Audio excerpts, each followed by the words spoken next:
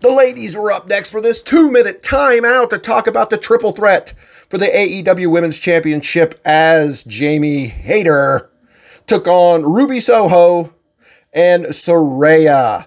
The woman everybody in AEW has turned against, or so it seems, and she's flipped them all off and gone her own way. This match was okay. I'm not a big fan of multi person matches. I'm not a big fan of the multi team tag team match. I'm not a big fan of three way matches, four way matches.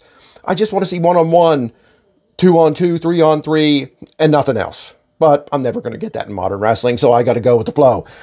Again, the wrestling here was absolutely fine. I'm a big fan of Jamie Hayter. I'm cool with Saraya. I'm cool with Ru- Ruby Soho as well, but Jamie Hayter is, I don't want to say the man. I'd get sued by Ric Flair and Becky Lynch at the same time. But she's great. And both of these other girls were great too. I don't know what people's problem with Saraya is. She's a little rusty. She's just coming back after, what, seven, eight years. Give her a break.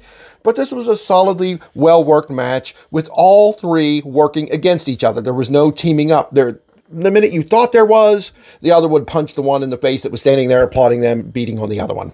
It was a typical three way match, though. Nothing special here. It probably would have got my least favorite match of the night if not for that ridiculous cluster of a tag team matchup. But that was saved by the revival. Oh, FTR. that was saved by the revival coming back. Oh my God. That was saved by FTR coming back. What was this saved by? Well, it's questionable. Ruby Soho turns at the end. Jamie Hayter gets the big win and celebrates. Saraya's laying off on the side. And all of a sudden, Ruby Soho, after raising her arm with the winner, Jamie Hayter, gives her a big kick in the back of the head and pounds her down with Saraya. Did that save this matchup? I think it's a little interesting. I don't think Ruby Soho, her entrance theme is real heelish, but I, I don't see her changing it.